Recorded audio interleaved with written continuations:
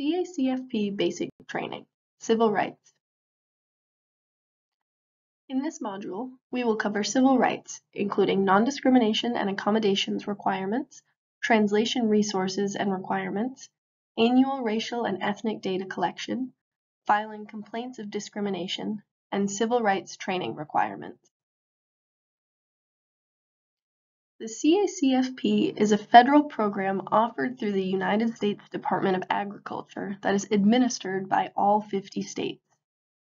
Training on civil rights is required so that individuals involved in all levels of administration of programs that receive federal financial assistance understand federal laws, regulations, instructions, and policies related to civil rights and non-discrimination. It's of the utmost importance that no discrimination occurs in any of the USDA's child nutrition programs, including the CACFP.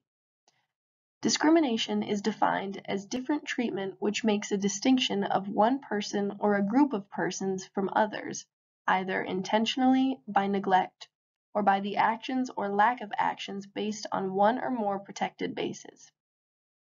The federally protected bases include race, color, national origin, age, sex, including gender identity and sexual orientation, and disability.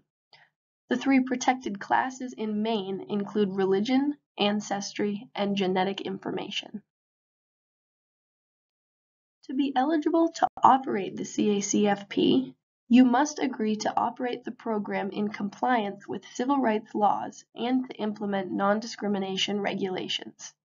This assurance is required to eliminate discrimination against applicants, participants, and beneficiaries and helps to prevent future discrimination while addressing effects of past discrimination. All FNS assistance programs must include a public notification system to inform persons of program availability, program rights and responsibilities, the non-discrimination policy, and the procedure for filing a complaint.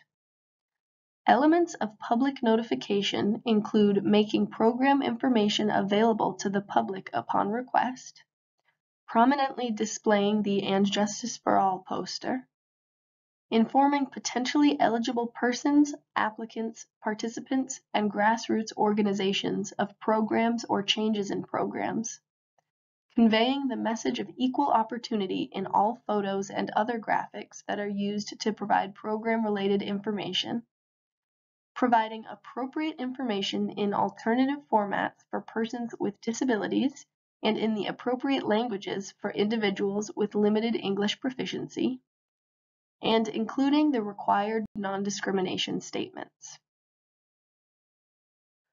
One element of public notification involves the requirement to display the And Justice for All poster in a prominent location at your facility where parents and participants can easily view it. If parents and or participants use more than one facility entrance to attend or leave your facility, then you should hang the poster at all entrances. State agency staff will provide new programs with the poster at pre-approval screenings. However, if you need additional posters, please contact the CACFP state office at the number on the screen.